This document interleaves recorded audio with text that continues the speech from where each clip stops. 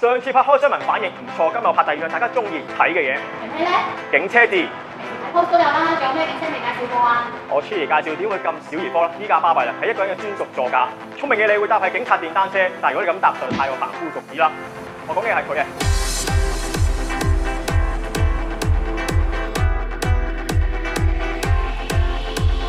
一哥嘅座駕，一號車牌。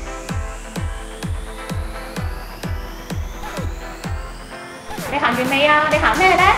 我揾一個專屬自己嘅位置啊，後座就係副官同埋處長坐，而我個 van 同佢哋仲有一大段距離喎。呢個位啱晒你啊！做警司，咁正，連升幾級喎你有政府車牌 E.F. 八，今日就做警察司機啦。？OK。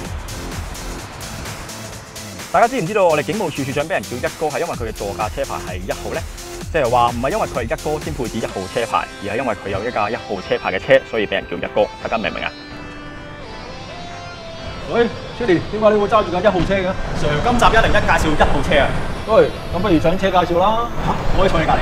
有咩問題啊？後生仔最緊要有目標，肯努力，俾啲心機就有機會噶啦。上車啦！一上。哇！處長真係好關心揾年輕人嘅發展，我諗今次又創造歷史啦！一粒花坐一號車慶祝警星直播一週年，有冇咁巧啊？唉，係咪真係坐得嘅咧？唔理啦。Thank you, sir。相信咧，而家好多人都好羨慕噶啦，就等我繼續介紹一號車嘅由來啦。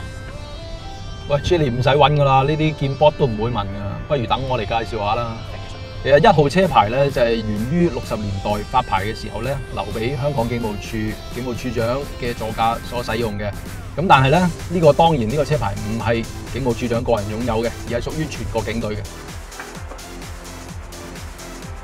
夠鐘啦，Chili。消除仲有其他地方要去，我哋下集再见啦，拜拜。